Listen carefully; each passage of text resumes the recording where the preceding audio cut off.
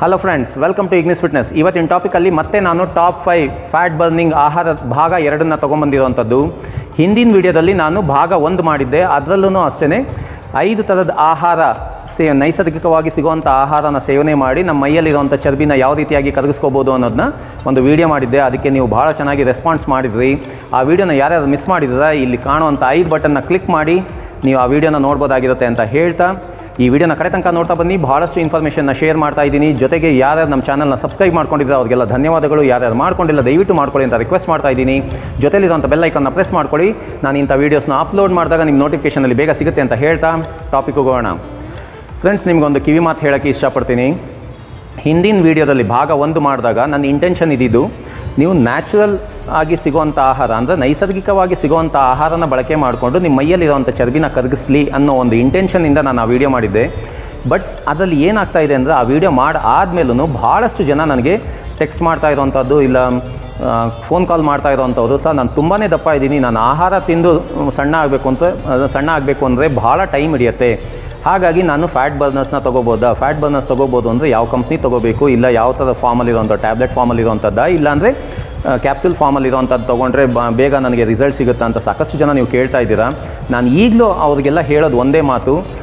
ನೋಡಿ ಸಪ್ಲಿಮೆಂಟ್ ಅನ್ನೋದು ಯಾವಾಗಲೂ ಸಪ್ಲಿಮೆಂಟೇ ನ್ಯಾಚುರಲ್ ಆಗಿ ಸಿಗೋದು, ಅಂದರೆ ನೈಸರ್ಗಿಕವಾಗಿ ಸಿಗೋವಂಥ ಆಹಾರದಿಂದ ಎಕ್ಸ್ಟ್ರಾಕ್ಟ್ ಮಾಡಿರೋಂಥ ಪೌಷ್ಟಿಕಾಂಶನ ಕ್ಯಾಪ್ಸೂಲಲ್ಲಿ ಇಲ್ಲಾಂದರೆ ಟ್ಯಾಬ್ಲೆಟ್ ಫಾರ್ಮಲ್ಲಿ ಸೇರಿಸಿ ಕೊಡೋವಂಥದ್ದಾಗಿರುತ್ತೆ ಅದ್ರಲ್ಲಿ ನಿಜವಾಗ್ಲೂ ಅದು ಇದೇ ಥರದ್ದೇ ತುಂಬಿರ್ತಾರೆ ಅನ್ನೋದು ಹೇಳೋಕ್ಕಾಗೋದಿಲ್ಲ. ಯಾರು ನಾವೆಲ್ಲ ಚೆಕ್ ಮಾಡೋದಿಲ್ಲ. ಯಾರು ನಮಗೆ ಸಪ್ಲೈಯರ್ಸ್ ಇರ್ತಾರೆ, ಅವ್ರು ಹೇಳೋದು ಮಾತು ಮೇಲೇ ನಾವು ಅದನ್ನು ನಂಬಿ ತೊಗೊಳ್ಳೋ ಅಂಥದ್ದು ಅದರಿಂದ ಸಾಕಷ್ಟು ಅಡ್ಡ ಪರಿಣಾಮಗಳು ಆಗುವಂಥ ಸಾಧ್ಯತೆಗಳನ್ನು ಜಾಸ್ತಿ ಇರುತ್ತೆ. ಹಾಗಾಗಿ ನಾನು ನೈಸರ್ಗಿಕವಾಗಿ ಸಿಗುವಂಥ ಆಹಾರನ ಬಳಕೆ ಮಾಡಿಕೊಂಡು ನೀವು ನಿಮ್ಮ ಮೈಯಲ್ಲಿರುವಂಥ ಚರ್ಬಿನ ಕರಗಿಸ್ಕೊಳ್ಳೋದು ಬಹಳಷ್ಟು ಉತ್ತಮ ಅಂತಲೇ ಹೇಳ್ತೀನಿ.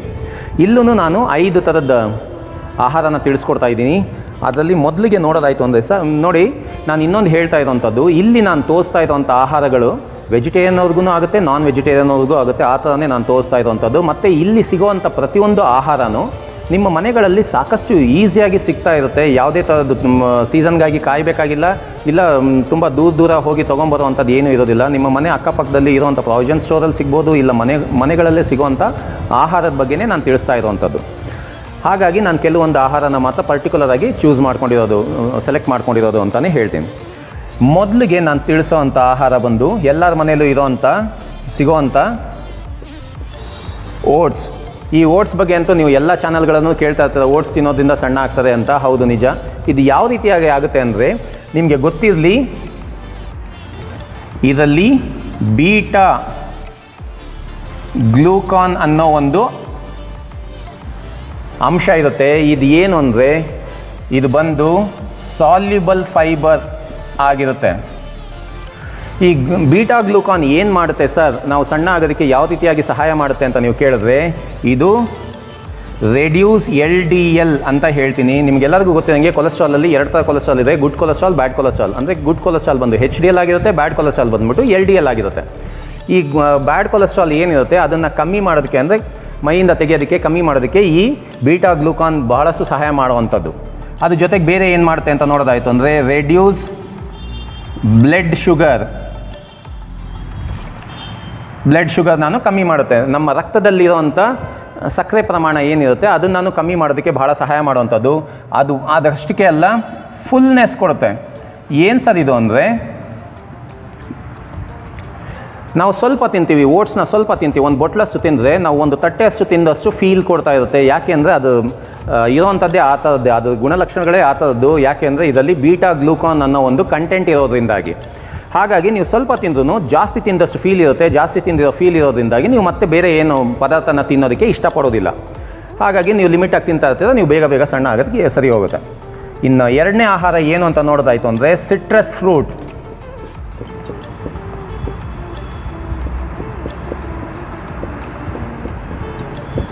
ಸಿಟ್ರಸ್ ಫ್ರೂಟ್ ಅಂತಲೇ ಹೇಳ್ತೀನಿ. ಈ ಸಿಟ್ರಸ್ ಫ್ರೂಟ್ ಯಾವ ಥರದ್ದು ಸಿಟ್ರಸ್ ಫ್ರೂಟಲ್ಲಿ ಏನಿರುತ್ತೆ ಅಂತ ನೋಡೋದಾಯಿತು ಅಂದರೆ ವಿಟಮಿನ್ ಸಿ ಇರುತ್ತೆ. ವಿಟಮಿನ್ ಸಿ ಯಥೇಚ್ಛವಾಗಿ ಸಿಗ್ತಾ ಇರುತ್ತೆ ಹುಳಿ ಹುಳಿ ಇರೋಂಥ ಹಣ್ಣುಗಳು.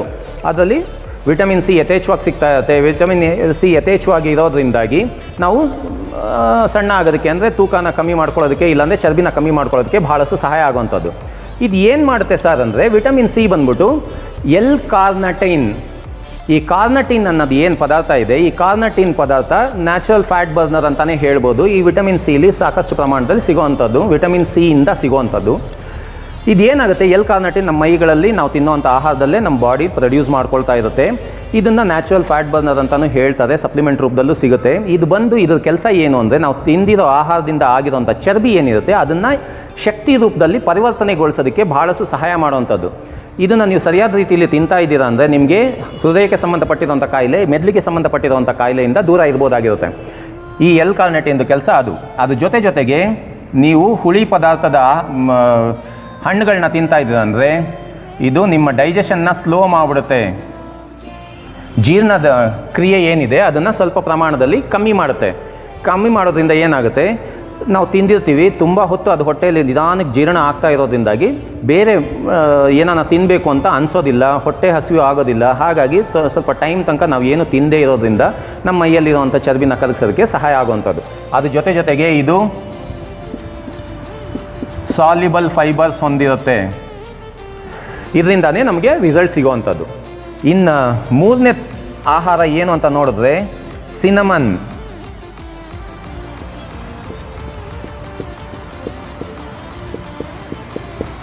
ಚಕ್ಕೆ ಅಂತಲೇ ಹೇಳ್ತೀನಿ. ಎಲ್ಲರ ಮನೆಗಳನ್ನು ಚಕ್ಕೆ ಯೂಸ್ ಮಾಡ್ತಾನೆ ಇರ್ತಾರೆ. ಚಕ್ಕೆ ಅಂತಲೇ ಹೇಳ್ತೀನಿ.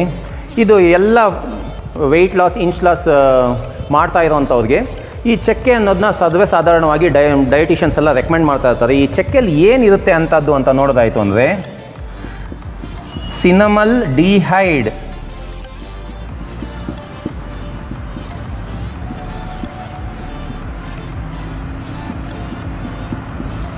ಸಿನಮಲ್ ಡಿಹೈಡ್ ಅನ್ನೋ ಒಂದು ಕೆಮಿಕಲ್ ಕಾಂಪೌಂಡ್ ಇರುತ್ತೆ. ಈ ಕೆಮಿಕಲ್ ಕಾಂಪೌಂಡ್ ಏನು ಮಾಡುತ್ತೆ ಅಂದರೆ ಇದೂ ಅಷ್ಟೇ ನಾವು ತಿಂದಿರೋ ಅಂಥ ಆಹಾರದಲ್ಲಿ ಆಗಿರೋವಂಥ ಉತ್ಪತ್ತಿ ಆಗಿರೋವಂಥ ಚರ್ಬಿ ಏನಿರುತ್ತೆ, ಆ ಚರ್ಬಿನ ಕರಗಿಸೋದಕ್ಕೆ ಅಂದರೆ ಕರಗಿಸೋದು ಯಾವ ರೀತಿಯಾಗಿ ಅಂದರೆ ಚರ್ಬಿನ ಎನರ್ಜಿಯಾಗಿ ಕನ್ವರ್ಟ್ ಮಾಡೋದಕ್ಕೆ, ಶಕ್ತಿಯಾಗಿ ಕನ್ವರ್ಟ್ ಮಾಡೋದಕ್ಕೆ, ಪರಿವರ್ತನೆಗೊಳಿಸೋದಕ್ಕೆ ಇದು ಸಹಾಯ ಮಾಡುವಂಥದ್ದು. ಹಾಗಾಗಿ ಚಕ್ಕೆನ ತುಂಬ ಜಾಸ್ತಿ ಪ್ರಿಫರ್ ಮಾಡ್ತಾ ಇರ್ತಾರೆ ಇಂಚ್ ಲಾಸ್ ವೆಯ್ಟ್ ಲಾಸ್ ಮಾಡುವಂಥವ್ರು ಮತ್ತು ಇದು ಬೂಸ್ಟ್ ಮೆಟಬಾಲಿಸಮ್ ಅಂತಲೇ ಹೇಳ್ತೀನಿ.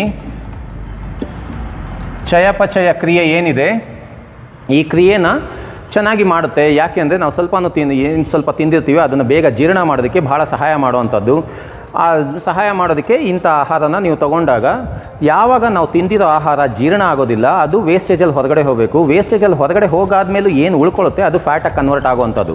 ಆ ಫ್ಯಾಟಾಗಿ ಕನ್ವರ್ಟ್ ಆಗಬಾರ್ದು ಅಂದರೆ ಅದು ಪೂರ್ತಿಯಾಗಿ ಜೀರ್ಣ ಆಗಬೇಕಾಗುತ್ತೆ. ಆ ಜೀರ್ಣಕ್ರಿಯೆಗೆ ಸಹಾಯ ಮಾಡುವಂಥದ್ದು ಈ ಚಕ್ಕೆ ಪುಡಿ ಆಗಿದೆ, ಚಕ್ಕೆ ಆಗಿರುತ್ತೆ ಅಂತಲೇ ಹೇಳ್ಬೋದು. ಇನ್ನು ನಾಲ್ಕನೇ ಆಹಾರ ಯಾವುದು ಅಂತ ನೋಡೋದಾಯಿತು ಅಂದರೆ ಇದು ಎಲ್ಲರಿಗೂ ಗೊತ್ತಿರೋ ಅಂಥದ್ದು ವೇ ಪ್ರೋಟೀನ್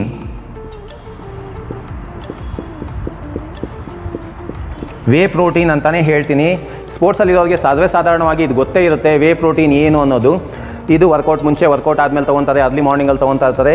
ಇದು ಒನ್ ಆಫ್ ಅ ಸಪ್ಲಿಮೆಂಟು ಇದು ಹಾಲಿನಿಂದ ಮಾಡಿರೋವಂಥದ್ದು, ಯಾವುದೇ ರೀತಿಯಾದಂಥ ಸೈಡ್ ಎಫೆಕ್ಟ್ಸ್ ಇರೋದಿಲ್ಲ, ಹಾಲಿನಿಂದ ಮಾಡಿರೋವಂಥ ಒಂದು ಪದಾರ್ಥ ಇದಾಗಿರುತ್ತೆ.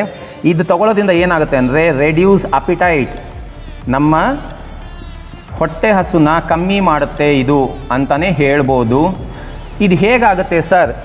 ಅಂದರೆ ನಮಗೆ ಹೊಟ್ಟೆ ಹಸು ಆಗಬೇಕು ಅಂದರೆ ಒಂದು ಹಾರ್ಮೋನ್ ಕೆಲಸ ಮಾಡ್ತಾ ಇರುತ್ತೆ. ಹೊಟ್ಟೆ ಹಸು ಜಾಸ್ತಿಯಾಗಿ ಹೊಟ್ಟೆ ಹಸಿಬೇಕು ಅಂದರೆ ಒಂದು ಹಾರ್ಮೋನ್ ಕೆಲಸ ಮಾಡ್ತಾ ಇರುತ್ತೆ. ಆ ಹಾರ್ಮೋನ್ ಹೆಸರು ಬಂದ್ಬಿಟ್ಟು ಗ್ರನಲಿನ್ ಅಂತ ಒಂದು ಹಾರ್ಮೋನ್ ಇರುತ್ತೆ. ಆ ಗ್ರನಲಿನ್ ಹಾರ್ಮೋನ್ ಇರೋದ್ರಿಂದಾಗೆ ನಮಗೆ ಹೊಟ್ಟೆ ಹಸು ಆಗುವಂಥದ್ದು. ಈ ಗ್ರನಲಿನ್ ಹಾರ್ಮೋನ್ನ ಸಪ್ರೆಸ್ ಮಾಡುತ್ತೆ ಅಂದರೆ ಸ್ವಲ್ಪ ಪ್ರಮಾಣದಲ್ಲಿ ಕಮ್ಮಿ ಮಾಡಿಬಿಡುತ್ತೆ. ಉತ್ಪತ್ತಿ ಆಗೋದನ್ನ ಕಮ್ಮಿ ಮಾಡಿಬಿಡುತ್ತೆ. ಉತ್ಪತ್ತಿ ಆಗೋದು ಕಮ್ಮಿ ಆದಾಗ ನಮಗೆ ಹೊಟ್ಟೆ ಹಸು ಆಗೋದಿಲ್ಲ. ಆ ರೀತಿಯಾದಂಥ ಕೆಲಸ ಮಾಡೋದ್ರಿಂದಾಗಿ ಏನಾಗುತ್ತೆ? ನಾವು ತಿನ್ನುವಂಥ ಆಹಾರದಲ್ಲಿ ಆಹಾರದ ಪ್ರಮಾಣ ಕಮ್ಮಿ ಮಾಡ್ಕೋಬೋದು. ಕಮ್ಮಿ ಮಾಡೋದ್ರಿಂದಾಗಿ ನಿಮಗೆ ತೂಕ ಕಮ್ಮಿ ಮಾಡೋದಕ್ಕೆ ಫ್ಯಾಟ್ ಕಮ್ಮಿ ಮಾಡ್ಕೊಳ್ಳೋದಕ್ಕೆ ಭಾಳ ಸಹಾಯ ಆಗುವಂಥದ್ದು. ಈ ವೇ ಪ್ರೋಟೀನ್ ತಗೊಳ್ಳೋದ್ರಿಂದ ಬೇರೆ ಇನ್ನೇನಾಗುತ್ತೆ ಅಂದರೆ build lean muscle mass protein ಪದಾರ್ಥ ಜಾಸ್ತಿ ತಗೊಳ್ಳೋದ್ರಿಂದ ಏನಾಗುತ್ತೆ? ಮಾಂಸಖಂಡಗಳು ಬೆಳೆಯೋದಕ್ಕೆ ಶುರು ಆಗುತ್ತೆ. ಮಾಂಸಖಂಡಗಳು ಯಾವಾಗ ಮೈಯಲ್ಲಿ ಜಾಸ್ತಿ ಆಗುತ್ತೆ? ಕ್ಯಾಲೋರಿ ತಾನಾಗಿ ತಾನೇ ಬರ್ನ್ ಆಗುವಂಥದ್ದು ಕ್ಯಾಲೋರಿಸ್ ಅಂದರೆ ಏನು ಸರ್ ಅಂದರೆ ಆಹಾರದಲ್ಲಿರುವಂಥ ಶಕ್ತಿ ಅಂತಲೇ ಹೇಳ್ಬೋದು. ಆ ಆಹಾರದಲ್ಲಿರುವಂಥ ಶಕ್ತಿ ಕಮ್ಮಿ ಮಾಡಿದಾಗ ನಿಮ್ಗೇನಾಗುತ್ತೆ? ರಿಸಲ್ಟ್ಸ್ ಚೆನ್ನಾಗಿ ಸಿಗೋವಂಥದ್ದಾಗಿರುತ್ತೆ ಅದ್ರ ಜೊತೆಗೆ ಇದು ಬೇರೆ ಇನ್ನೇನು ಮಾಡುತ್ತೆ ಅಂತ ನೋಡೋದಾಯಿತು ಅಂದರೆ, ಮತ್ತೆ ಬೂಸ್ಟ್ ಮೆಟಬಾಲಿಸಮ್ ಚಯಾಪಚಯ ಕ್ರಿಯೆ ಇದೂ ಅಷ್ಟೇ ಜಾಸ್ತಿ ಮಾಡುತ್ತೆ. ಸರಿ, ಇನ್ನು ಐದನೇ ಆಹಾರ ಯಾವುದು ಅಂತ ನೋಡೋದಾಯಿತು ಅಂದರೆ ಮೊಟ್ಟೆ ಅಂತಲೇ ಹೇಳ್ತೀನಿ. ನಾನು ಮೊಟ್ಟೆನ ಪ್ರಿಫರ್ ಮಾಡ್ತೀನಿ ಐದನೇ ಪಾಯಿಂಟಲ್ಲಿ ಯಾಕೆ ಅಂದರೆ ಇದು low in calories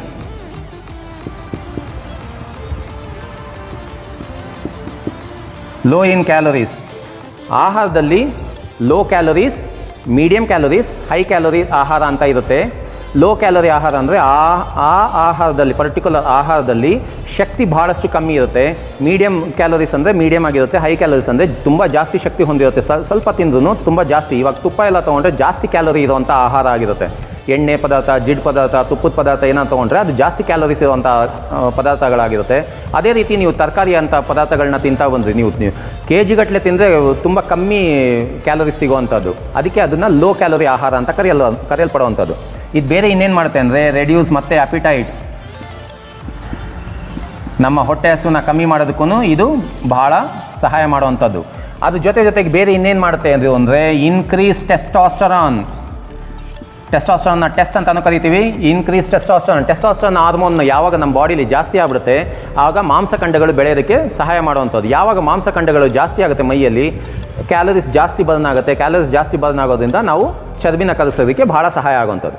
ಇದು ಐದು ಥರದ ಆಹಾರ ಆಯಿತು. ಈಗ ನೀವು ಕೇಳ್ಬೋದು, ಸರ್, ನಾನು ಈ ಆಹಾರ ಬಳಕೆ ಮಾಡಿಕೊಂಡು ಯಾವುದನ್ನ ಒಂದು ಪಾನೀಯನ ತಯಾರು ಮಾಡ್ಕೋಬೋದಾ ಅಂತ. ಹೌದು, ತಯಾರು ಮಾಡ್ಕೋಬೋದು. ಒಂದು ಸಣ್ಣದಾಗಿ ಇರುವಂಥ ಒಂದು ಪಾನೀಯದ ಬಗ್ಗೆ ತಿಳಿಸ್ಕೊಡ್ತೀನಿ. ಇದಕ್ಕೆ ಬೇಕಾಗಿರುವಂಥದ್ದು ಒಂದು ಟೇಬಲ್ ಸ್ಪೂನ್, ಒಂದು ಟೇಬಲ್ ಸ್ಪೂನ್ ಜೇನುತುಪ್ಪ ಬೇಕು. ಇದಕ್ಕೆ ಅರ್ಧ ಟೇಬಲ್ ಸ್ಪೂನ್ ಸಾರಿ ಅರ್ಧ ಟೀ ಸ್ಪೂನ್ ಚಕ್ಕೆ ಪುಡಿ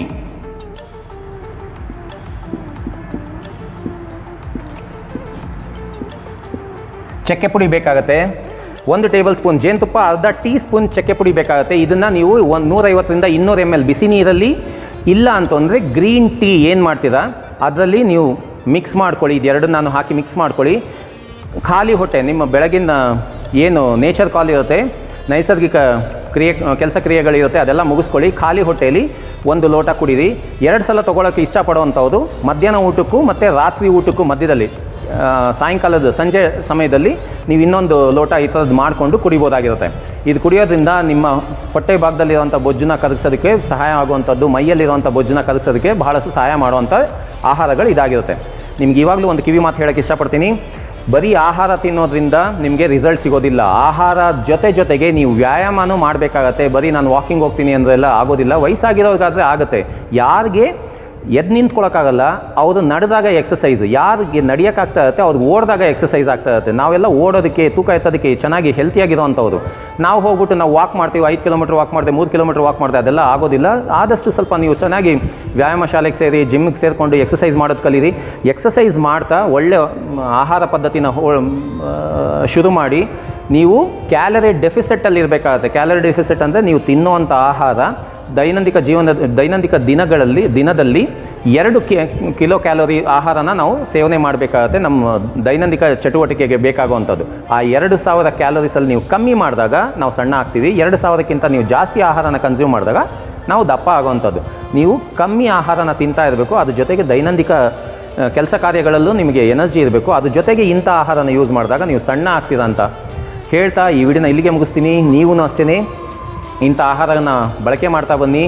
ನಿಮ್ಮ ಮೈಯಲ್ಲಿರುವಂಥ ಚರ್ಬಿನ ಕಲಿಸೋದಕ್ಕೆ ಬಹಳ ಸಹಾಯ ಆಗುತ್ತೆ ಅಂತ ಹೇಳ್ತಾ ನಿಮ್ಮಿಂದ ವಿದಾಯ ತಗೊತಾ ಇದ್ದೀನಿ. ನೆಕ್ಸ್ಟ್ ವೀಡಿಯೋದಲ್ಲಿ ಸಿಗೋ ತನಕ stay fit stay healthy till then bye bye